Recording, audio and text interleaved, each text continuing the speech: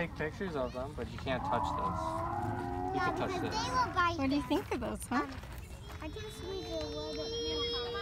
Yeah, so this is like foam back here. This is like. Hey, what's the way in the way? That's just like the coloring. Like you see how that guy's colored? Yeah. So this one's colored too.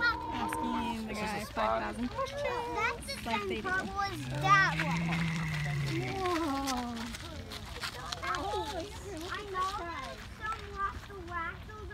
Stegosaurus. There's a baby one behind that bush.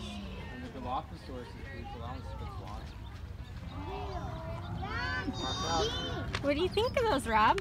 Uh, no. touch the dinosaur. Well, you can't touch the ones that are moving.